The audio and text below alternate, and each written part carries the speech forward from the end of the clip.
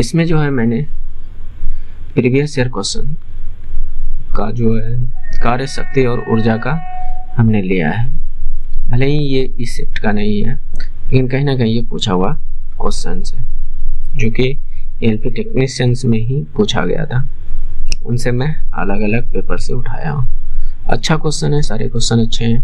देखिए, करने का कोशिश कीजिए। तो यहाँ पर देखिए क्या कर रहा है। 200 ग्राम की एक गेंद 20 मीटर प्रति सेकंड की गति के साथ लंबत ऊपर की ओर फेंका जाता है। इसके साथ, इसके पंथ, पथ के उच्चतम बिंदु पर गेंद का संवेग क्या होगा? तो देखिए, जैसे यहाँ पर हमने इस पॉइंट को देखा कि कहीं ना कहीं बॉल को ऐसे फेंक रहा है लंबत, उच्चतम पॉइंट पर इसका वेग क्या हो जाएगा?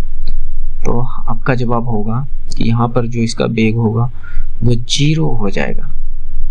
मेरी बात को समझने का कोशिश किया। जैसे हमने इस बात को फाइंड कर लिया, मैंने ज़ीरो आंसर मार दिया कि संवेग भी ज़ीरो होगा। अब कैसे मेरी बात को समझिए? संवेग का फॉर्मूला क्या? एम भी, द्रव्यमान गुना बेग द्रव्यमान जो भी हो, यहाँ पर 200 केजी क्यों ना दे देते हैं? तो यहाँ पर जो भी द्रव्यमान हो, लेकिन वेग अगर ज़ीरो हो गया, ज़ीरो हो गया, उच्चतम पॉइंट पे पूछ रहा है कि संवेग क्या होगा।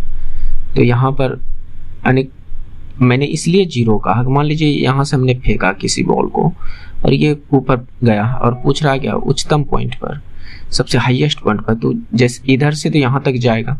कहीं ना कहीं जो जाकर वो हाईएस्ट पॉइंट पर वो रुकेगा, और रुकने रुकने की स्थिति में उस जगह उसका वेग क्या हो जाएगा? ज़ीरो। तो जैसे ही मैंने यहाँ पर ज़ीरो देखा डायरेक्ट आंसर मैंने ज़ीरो कर दिया। क्यों? क्योंकि संवेग का फॉर्मूला क्या? द्रव्यमान गुना वेग। तो एम का मान कुछ भी हो भी अगर ज़ीरो है तो इसका मतलब राइट आंसर ज़ीरो। हालाँकि यहाँ पर ये ऐसा यूनिट में नहीं था। इसको चेंज करना पड़ता। अगर आंसर होता मतलब कि कुछ और यूनिट जैसे इस सब में, तब फिर हमको इसको चेंज करना पड़ता। चलिए आगे इस बात को समझते हैं। ओके नेक्स्ट देखिए। इस क्वेश्चन को बनाइए। अच्छा क्वेश्चन है। देखिए, एक पंप की दक्षता 50 परसेंट है, ठीक है? तो यह 20 मिनट में दो टन पानी को 60 मीटर की ऊंचाई तक उठाता है। तो पंप की इनपुट शक्ति याद कीजिए। पंप यानी पंप की इनपुट शक्ति। तो हमें यहाँ से जो निकलेगा, इन सबसे लेकर वो आउटपुट शक्ति निकलेगा। अब आउटपुट शक्ति शक्ति का यहाँ पर कैसे निकाल सकते हैं?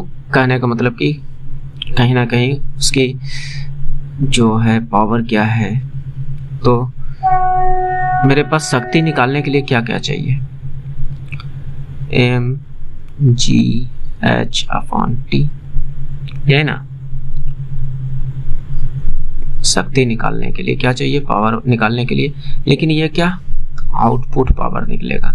क्योंकि यहाँ पर ये जो दिया है, आउटपुट पावर, यहाँ निकलेगा आउटपुट पावर।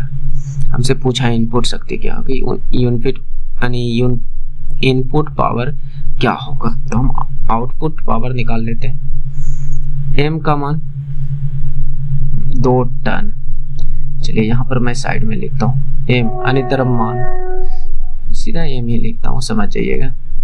द्रव्यमान दो टन है। टन से हमारा काम नहीं चलेगा क्योंकि ऐसा यूनिट में हमें बदलना पड़ेगा। तो एक टन बराबर कितना होता है? दस पर पावर तीन के जी तो दो टन बराबर दस पर दो गुना दस पर पावर तीन के जी ये के जी में चेंज हो गया ऐसा यूनिट में। मिनट टाइम मेरे पास दिया है, बीस मिनट क्या ये एस यूनिट में है? नहीं है। तो इसको एस यूनिट में चेंज कीजिए, साठ से गुना कर, इतना समय निकल जाएगा। सेकेंड ओके फिर मेरे पास ऊंचाई दे दिया है एच दे दिया है, कितना? साठ मीटर। ये तो एस आई यूनिट में ही है, ये उठाता है। तो अब हम यहाँ पर लगाते हैं आउटपुट पावर निकालते हैं। एम टू इंटू दस पर पावर थ्री जी जी अगर ना कुछ दिया रहे तो आप दस ले सकते हैं। दस। या तो दिया रहेगा तो नाइन पॉइंट एट ले लीजिएगा, चलेगा। मैं दस इसलिए ले रहा हूँ कि क्योंकि ये पॉइंट में आंसर नहीं है, इसलिए ले रहा हूँ। हालाँकि रहता तो मैं नाइन पॉइंट एट भी ले सकता था। एच साठ मीटर। समय मेरे पास कितना है? बीस गुना साठ। बीस गुना साठ। तो यहाँ से ये कितना निकलेगा? ये दस दूनी बीस। ये बीस से कट गया, ये साठ से साठ कट गया। यानी दस पर पावर तीन जो है, शक्ति निकल गया।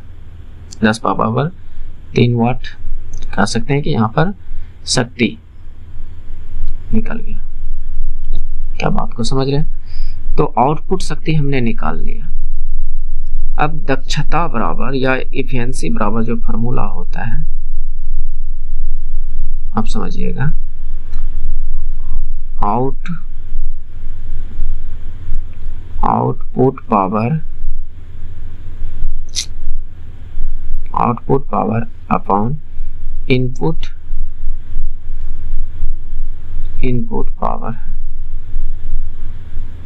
यानी output power upon input power तो दक्षता हमारा कितना? पचास परसेंट। पचास परसेंट को हम क्या लिख सकते हैं? एक बटे दो लिख सकते हैं क्या? एक बटे दो। लिख सकते हैं ना? तो एक बटे दो। आउटपुट पावर पावर कितना? दस पर पावर। तीन वाट। और इनपुट पावर हमें निकालना है तो इसको कुछ भी मान लीजिए आईपी मान लीजिए। IP input power. तो यहाँ से मैंने इसको डब्लू घटा देते हैं, ताकि समझ में आसान से रहेगा। तो इनपुट पावर हमें निकालना है। तो ये क्या हुआ? इसको सोल्व कीजिएगा। तो इनपुट पावर बराबर टू इंटू दस पर पावर तीन, दस पर पावर तीन। यानी कह सकते हैं यहाँ पर कि दस पर पावर तीन मतलब क्या? एक हज़ार। एक हज़ार वाट बराबर कितना होता है? एक किलो वाट होता है ना? तो इसको हम लिख सकते हैं। दो, इसको किलो वाट में बदल सकते हैं। यानी यहाँ पर कह सकते हैं कि दस पर पावर जो तीन है, इसको हम एक किलो वाट लिख सकते हैं। क्या मेरी बात को समझ पा रहे हैं? तो यहाँ से इनपुट पावर जो है, मेरा कितना निकल गया? दो किलो वाट क्योंकि यहाँ पर पूछा है हमसे किलो वाट में तो इसका दो पावर दो किलो वाट निकल जाए। अच्छा क्वेश्चन है, थोड़ा समझने का कोशिश कीजिए। नेक्स्ट देखिए। वन केजी की गेंद की चाल को दो मीटर प्रति सेकंड से बढ़ाकर चार मीटर प्रति सेकंड करने के लिए कितना कार्य करना पड़ेगा? कितना कार्य करना पड़ेगा? तो कार्य बराबर आपने एक फॉर्मूला और भी पढ़ा होगा। गतिज ऊर्जा में परिवर्तन भी कहलाता है कार्य। तो गतिज ऊर्जा half m b square minus u square इस फार्मूला को आप सीधा सीधा भी करें। जैसे यहाँ पर कुछ नहीं था। गतिज ऊर्जा का फार्मूला क्या? हाफ़ एम बी स्क्वायर तो ये प्रारंभिक वेग है, ये अंतिम वेग है, इसको बी से रिप्रेजेंट कर रहे हैं। तो बस इसी फार्मूला को यहाँ पर मैंने शॉर्ट करके लिख दिया। क्योंकि यहाँ पर देखिए, एक बार भी यूज़ होता है एक बार यू यूज़ होता। है और बात समझ सकते हैं आगे और क्या बताऊँ। एम कितना? वन के जी और भी कितना? चार। तो चार का स्क्वायर लिखिए या सोलह डायरेक्ट मैं यहाँ पर लिख रहा हूँ, चार का स्क्वायर क्या सोलह दो का स्क्वायर क्या चार तो यहाँ से डब्लू बराबर तो हाफ़ सोलह में चार गया, बारह तो यहाँ से कट गया ये छ तो कार्य का ऐसा मतलब क्या, जूल सिक्स जूल, ये राइट आंसर हो जाएगा। ओके नेक्स्ट देखिए, अगर आपको इस तरह के प्रश्न को बनाने में प्रॉब्लम होता है तो आप कम से कम कुछ सूत्र, ज़्यादा सूत्र नहीं होगा। बारह, तेरह सूत्र होगा। मान लीजिए ज़्यादा से ज़्यादा पंद्रह या बीस ठो के आसपास होगा। उतना सा सूत्र याद कर लीजिए, बाकी बात इस सब क्वेश्चन में कोई जॉन रहता नहीं है। बस सूत्र पे रिलेटेड है। फार्मूला याद रखिए। मौके बाद अगर बेसिक जानते हैं, तब तो फार्मूला का कोई ये नहीं है। एक कार्य की चाल 25 मीटर से घटाकर 15 मीटर प्रति सेकेंड हो जाने पर उसकी गतिज ऊर्जा दो हज़ार, दो दो सौ किलो जूल कम हो जाती तो टन में इसका द्रव्यमान क्या होगा? ठीक है टन में द्रव्यमान पूछ रहा है। तो मेरे पास दिया क्या है? ये अंतिम वेग है। जैसे मान लीजिए कि ये, या तो प्रारंभिक वेग भी कह सकते हैं, लेकिन यहाँ पे इस स्थिति में, यहाँ पर वेग जो था, पहले 25 मीटर प्रति सेकंड से घटकर 15 मीटर प्रति सेकंड कर दिया गया। कहीं ना कहीं यहाँ भी गतिज ऊर्जा में चेंज ही कार्य कार्य कहलाए बात समझ रहे हैं? तो यहाँ पे वही चीज़ को लगा सकते हैं कि कार्य बराबर half m into v square minus u square या बड़ी वाली जो डाटा है, उसको आप ही मान लीजिए, छोटी वाली डाटा को यू मान लीजिए। बस यहाँ पर देखिए, कार्य कितना दिया? दो हज़ार, दो सौ किलो जूल। किलो की जगह पर हम हज़ार पुट कर सकते हैं कि नहीं? हज़ार जूल। ये चेंज हो गया। किसमें जूल में, क्योंकि कार्य का ऐसा मात्रक जूल होता है। ये अब जूल में चेंज हो गया। हाफ़ हमसे द्रव्यमान के बारे में पूछ रहा है। एम हमें निकालने का रहा है। वे कितना, इसको हम भी मार रहे हैं, माने इसको यू। तो यहाँ पर 25 का स्क्वायर 600 25 और 15 का स्क्वायर 225 तो यहाँ से ये क्या हो जाएगा? समझिएगा। 200 गुना एक हज़ार और यहाँ से हाफ़ इसमें घटाइए 625 में 225 तो 400 कितना आ गया? 400 तो अब देखिए कटा पिटा के क्या आता है। हम्म, यहाँ तो मैं कटा दिया दो बार में और ये दो से दो कट भी गया। तो एम बराबर सीधा सीधा एक हज़ार के जी आ गया। लेकिन हमसे तो टन में पूछा है। तो एक हज़ार के जी बराबर एक टन होता है। तो हम कह सकते हैं कि एक टन है यहाँ पर। कितना है? एक टन। है कि नहीं? एक हज़ार के जी बराबर एक टन होता है तो इसका आंसर एक टन हो जाएगा। उम्मीद करते हैं कि आप समझ पा रहे होंगे। ओके। नेक्स्ट। देखिए। यदि एक ट्रॉली को 20 मीटर धकेलने में 1200 जूल कार्य किया जाता है तो कार्यरत बल न्यूटन में कितना होगा? ठीक है। तो न्यूटन बल कैसे है मात्रा क्या है? न्यूटन और ये दूरी का मीटर होता है, ये कार्य का जूल होता है ऐसा मात्रक में सभी कुछ है तो चेंज हमें नहीं करना पड़ेगा। तो यहाँ हम कार्य बराबर फॉर्मूला क्या लगा सकते हैं? एफ़ इंटू एस यानी बल गुना विस्थापन। कार्य बराबर फॉर्मूला होता है कि नहीं? बल गुना विस्थापन। कार्य हमारे यहाँ पर जो दिया हुआ है 1200 जूल दिया है, बल निकालने बोल रहा है, विस्थापन कितना? यानी कोई वस्तु है, इसको धकेल कर बीस मीटर धकेल कर यहाँ पहुँचा दिया, यहाँ तक का मारकर। तो यहाँ से यहाँ तक विस्थापित हो गया। तो विस्थापन कितना? बीस। तो यहाँ से इसको कटाइए, पिटाइए, देखिए कितना आता है। बराबर कह सकते हैं साठ न्यूटन। बल कैसे मात्रा क्या होता है? न्यूटन। तो साठ न्यूटन। ओके। नेक्स्ट। देखिए। पचास के का एक लड़का सौ के द्रव्यमान के एक स्कूटर को भी बेग की चाल से चला रहा है। यदि स्कूटर और लड़के की गतिज ऊर्जा छिहत्तर दशमलव आठ किलो जूल है तो भी मीटर प्रति सेकंड में ज्ञात कीजिए, ठीक है? तो आपको पता है कि गतिज ऊर्जा का जो फॉर्मूला होता है, हाफ़ एम वी स्क्वायर, होता है ना? तो ये होता है तो अब हमें द्रव्यमान चाहिए, एम का मान चाहिए, दूसरी बात भी चाहिए उसके बाद मेरे पास तो यहाँ गतिज ऊर्जा का मान दे ही दे दिया के ई का मान दे ही दे दिया है। तो यहाँ पर एम का मान कितना? पचास के जी का लड़का और सौ के जी का स्कूटर तो टोटल ऐड हो जाएगा नहीं डेढ़ सौ के जी हो जाएगा। किसका? एम का मान। बात समझ रहे मैंने दोनों को क्यों लिया? जैसे मान लीजिए, आप खुद से किसी में टकराते तो सिर्फ़ आपका वज़न काउंट होता, लेकिन आप बुलोरो लेकर टकरा जाइएगा तो आपका वज़न के साथ साथ बुलोरो का भी वज़न आएगा कि नहीं? या आप स्कूटर हो मोटरसाइकिल जिस पर हो तो उसका भी वज़न काउंट होगा कि नहीं? इसीलिए मैंने यहाँ पर दोनों के वज़न को काउंट किया। हमें भी निकालनी है और गति ऊर्जा हमें दिया है छिहत्तर पॉइंट आठ किलो जूल। लेकिन हमें किलो जूल में नहीं चाहिए।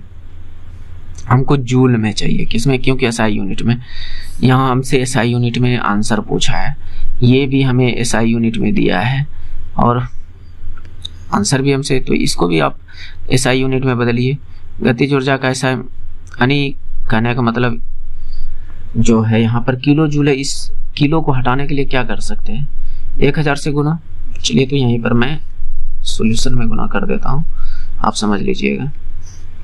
छिहत्तर के के जगह के, यानी छिहत्तर पॉइंट आठ किलो किलो के जगह पे एक हज़ार। ओके तो ये जूल में चेंज हो गया। तो हाफ़ एम का मान डेढ़ सौ भी हमें निकालना है। वी स्क्वायर हमें यानी भी हमें निकालना है। समझिएगा? तो यहाँ से इसको गुना करें तो ये छ छिहत्तर आठ डबल ज़ीरो और ये आपके कट जाएगा हम्म, पचहत्तर बार में। तो बटे पचहत्तर तो यहाँ भी स्क्वायर बराबर इतना। तो चलिए देखते हैं कटा पिटा के कहाँ से कटता है कि नहीं। तो 25 से मैं, देखिए, इसको थोड़ा सा आसान करने के लिए मैं बताता हूँ। अगर गुना में फंसे तो क्या करें? अलग से मैं एक बात लिखना के लिए चाहता हूँ, या पर देखिए इसको मैं छ, सात सौ अड़सठ गुना सौ लिख सकता हूँ क्या इस बात को? लिख सकता हूँ ना, बटे क्या है? पचहत्तर। तो अब बताइए, सौ भी पच्चीस से कटेगा और पचहत्तर भी पच्चीस से कटेगा। कटेगा कि नहीं? तो आपका जवाब होगा, बिल्कुल कटेगा। तो कटा दीजिए ना, क्या फ़र्क पड़ता है? पच्चीस से तीन बार में, पच्चीस से चार बार में। ये तीन से, तीन दूनी छ तीन पचे पंद्रह, तीन छः अठारह। यानी दो सौ छप्पन गुना चार आ गया। मैंने इसको टोटल कटा पिटा दिया। ये मैंने सौ से इसलिए गुना किया ताकि मैं आपको समझा सकूँ। हालाँकि मैं यहीं पर भी कटा सकता था। बस समझाने के लिए। तो ये कितना आ गया? दो सौ छप्पन गुने चार। अब मैं इसको गुना नहीं करूँगा डायरेक्ट ये भी स्क्वायर उठ के इधर आएगा। तो ये रूट में चेंज होगा कहीं ना कहीं। कहीं ना कहीं के परफेक्ट चेंज होगा रूट में। ये तो दो सौ छप्पन का वर्गमूल कितना? 16 और चार का वर्गमूल कितना? दो। तो भी बराबर कितना निकल गया? बत्तीस मीटर पर सेकेंड। ये आपका राइट आंसर हो जाएगा। देखिए, तरीके से बनाइएगा तो कहीं गलती होने की कोई चांस ही नहीं है। बात समझ जहाँ थोड़ा सा मिस्टेक किए तो फिर दोबारा बनाने की ज़रूरत पड़ सकती है। और मिस्टेक किसी से भी हो सकती है, चाहे हम रहें आप रहे चाहे कोई भी कितना बड़ा मतलब कि बहुत बड़ा टीचर क्यों ना हो। गलती किसी से भी हो सकती है। तो हमसे भी कभी गदल हो जाती है तो उसके लिए आप लोग उतना दिल पर मत नहीं मत लीजिएगा इग्नोर कर दीजिएगा, या तो आप हमें कमेंट में बता दीजिएगा। क्योंकि देखिए, अगर मैं इतना क्वेश्चन सही से करा सकता हूँ तो उस क्वेश्चन उस जो गलत क्वेश्चन हुआ उसको भी मैं सही से करा सकता हूँ। बाय मिस्टेक गलती हो सकती है। तो इसके लिए दोस्त, ज़्यादा दिल पे लेने की ज़रूरत ना है। आगे देखिए यदि वी वोल्ट पर 200 गुलाम के आवेश को स्थानांतरित करने पर 90 जूल कार्य किया जाता है तो भी ज्ञात कीजिए। भी ज्ञात कीजिए, ठीक है? तो अपने कार्य बराबर एक फॉर्मूला और भी पढ़ा होगा। डब्लू बराबर भी क्यू? नहीं पढ़ा है तो आप फिजिक्स का बुक उठाइए, टेंथ का, और ये सब सारे फार्मूले आपको मिल जाएँगे। जितने भी फार्मूले मैंने यहाँ पर दिखा रहा था, दिखा रहा हूँ, जो लिख रहा हूँ और सारे के सारे फार्मूले आपको टेंथ के बुक में मिल जाएगा, धारा चैप्टर में। जो धारा चैप्टर का है वह धारा चैप्टर में मिल जाएगा जो कार्य चैप्टर का वो कार्य चैप्टर में मिल जाएगा कहीं ना कहीं मिल जाएगा। ठीक? तो मेरे पास क्या क्या है? भी हमसे पूछ रहा है क्यू का मान दिया है 200 गुलाम? दो हज़ार गुलाम। गुलाम को हम्म, क्यू से ही लिख देते हैं या सी से लिखा जाता है। ठीक? और मेरे पास डब्लू का मान नब्बे जूल दे दिया है। ओके? पूछ रहा है तो बताइए। ये नब्बे है और भी हमें निकालनी है गुलाम। ये देखिए, आवेश का ऐसा है मात्रक, गुलाम भी होता है। आवेश का ऐसा है मात्रक क्या होता है? गुलाम। तो यहाँ पर ऐसा आई यूनिट में ही है, गुना तो हो जाए। तो इतना सा तो आप आसानी से हल कर सकते हो। तो मैंने यहाँ से घटाया।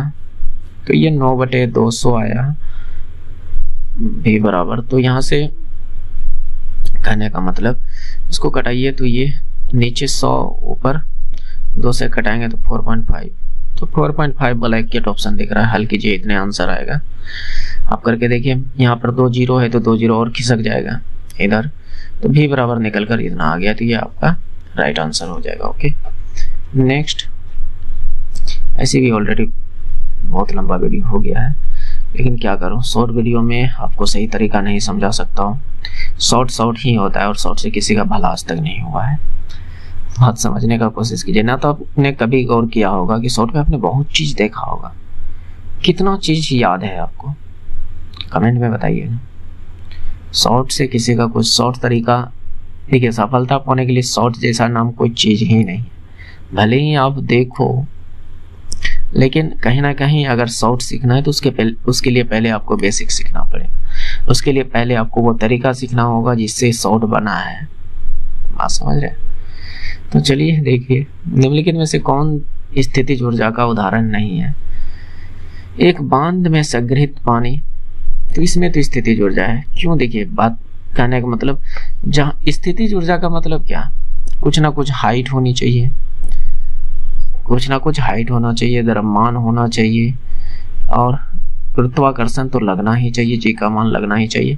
क्योंकि फार्मूला क्या होता है? एम जी एच स्थिति जुड़ जाएगा, है ना? तो एम जी एच होता है तो कहीं ना कहीं, देखिए, अगर संग्रहित पानी करके, मान लीजिए, एक नदी ही है या डब्बा ही है, आप डब्बे में पानी रखे हो तो इसमें, इस पानी की कुछ ना कुछ तो हाइट है। मेरी बात को समझ रहे इस पानी पर कुछ ना कुछ बल तो काम कर रहा है, जो कि गुरुत्वाकर्षण बल काम कर रहा है। तो हाइट भी है और इस पानी का कुछ ना कुछ द्रव्यमान होगा तो यहाँ पर स्थिति ऊर्जा लगेगा, बिल्कुल। तो कहीं ना कहीं ये पानी स्थिर है, इसलिए मैं कह सकता हूँ यहाँ पर स्थिति जुड़ जाए एक उठा हुआ हथौड़ा, ये कोई व्यक्ति है, ये हथौड़ा उठा लिया और यहाँ उठा कर रखा हुआ है। तो ये स्थित, स्थिर करके रख दिया। इस हथौड़े को, ये स्थिर करके रख दिया। तो इसकी कुछ ना कुछ हाइट हो गई, इसका कुछ ना कुछ द्रव्यमान है, और इस पर ये जो बल काम कर रहा है गुरुत्वाकर्षण बल काम कर रहा है तो यहाँ पर भी स्थिति ऊर्जा है। तो हमसे पूछा कि स्थिति ऊर्जा नहीं है तो संकुचित जल, ये भी स्थिति ऊर्जा है। जिसमें हमें गति दिख जाए हुआ गति ऊर्जा तो बहता हुआ पानी में गति है कि नहीं? तो इसमें गति ऊर्जा संकुचित जल मतलब क्या? जल को क्रिस्टलाइज कर देना या जल को आइस के रूप में बदल देना यह सब संकुचित जल का ही तो उदाहरण है। तो ये भी आपका नहीं होगा। तो यहाँ पर इसका राइट आंसर डी नंबर होगा, जो कि गति है ये सब गलत। क्योंकि ये सब स्थिति जुड़ जाए और इसने कहा कि नहीं है। आप समझ रहे हैं? ये नहीं कि यहाँ पर भी ध्यान दीजिएगा कि ये जो है, यहाँ क्या कह रहा है। नहीं कि सीधा देखें, स्थिति जुड़ जाए, बस मार दिया आगे नहीं पड़े ऐसा मिस्टेक होता है और हमसे भी बहुत बार हुआ है। जहाँ हम टेस्ट वगैरह लगाया लगाने जाया करते थे। वहाँ होती थी। और एग्ज़ाम भी, भी हुआ है। हमसे खुद से हुई है। तो यहाँ पर देखिए द्रव्यमान को स्थिर रखते हुए यदि किसी निकाय का संवेग तीन गुना कर दिया जाए तब इसकी गति ऊर्जा क्या होगी? तब इसका गति ऊर्जा क्या होगी? यह बात पूछ रहे हैं। तो आपको संवेग का तो फॉर्मूला पता होगा क्या होता है? एम गुना भी ठीक है? तो यहाँ पर हमें द्रव्यमान पहले से क्या है? अगर मैं देखूँ तो द्रव्यमान क्या है? द्रव्यमान एम है। वेग क्या है? भी है। ठीक है। लेकिन इसने कहा कि संवेग को तीन गुना कर दीजिए। नेक्स्ट बात में कहा कि यदि किसी निकाय का संवेग को तीन गुना कर दीजिए तो इसकी गतिज ऊर्जा क्या है? और द्रव्यमान को स्थिर रखना है। द्रव्यमान नो चेंज तो दूसरे स्थिति में जो कह रहा है कि द्रव्यमान को कोई चेंज नहीं करना है। द्रव्यमान जो एम है, उसको एम ही रहने दे दिया जाए। एम ही रहने दे दिया जाए। लेकिन संवेग को आप तीन गुना कर दीजिए। संवेग तीन गुना। यानी ये द्रव्य संवेग जो है एम भी को आप तीन गुना कर दीजिए। तो अब वेग जो हो जाएगा, मेरी बात को जरा गौर से यहाँ पर समझिएगा। वेग जो हो जाएगा, द्रव्यमान को तो चेंज नहीं कर सकते तो इसका मतलब वेग ही तीन गुना हुआ है। बात समझ रहे हैं? द्रव्यमान को तो हम चेंज नहीं कर सकते क्योंकि यहाँ कहा है कि स्थिर रखते हैं तो ये बेग को ही चेंज करना पड़ेगा तो ये बेग ही तीन गुना हुआ है, तभी जाकर संवेग तीन गुना हुआ है है ना? तो इसका मतलब बेग तीन गुना हो गया है थ्री भी हो गया है। क्या मेरी बात को समझ रहे हैं? अब इसकी गति ऊर्जा क्या होगी? अब इसका गति ऊर्जा क्या होगी? ये बात हमसे इसने पूछा। तो देखिए पहले गति ऊर्जा इस इसके रिस्पेक्ट में निकालेंगे, उसके बाद इसके रिस्पेक्ट में निकालेंगे। अगर लगता है कि इस तरह से निकालने में थोड़ा लोचा है तो आप इसका कुछ मान एज्यूम कर लीजिए। मतलब कुछ भी मान सोच सकते हैं। जैसे कहने का मतलब आप समझिएगा।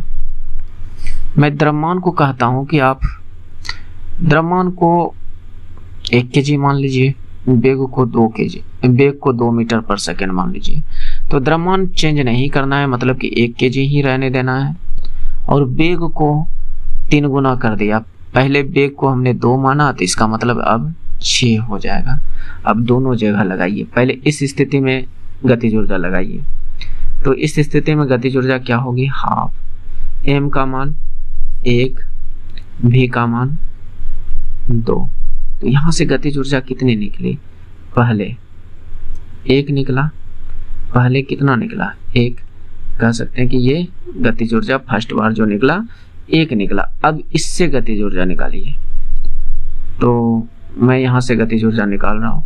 तो देखिए, हाफ़ एम का मान एक ही रहने देना है और बेग छ लेना है। तो छ भी स्क्वायर है ना?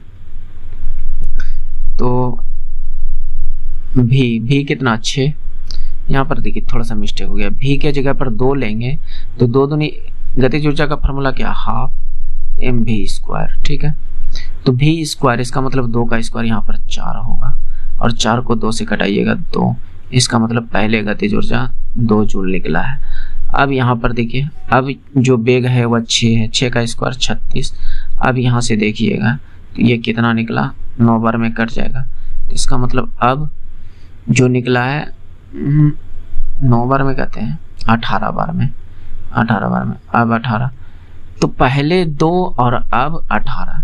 तो गतिज ऊर्जा क्या हुई है?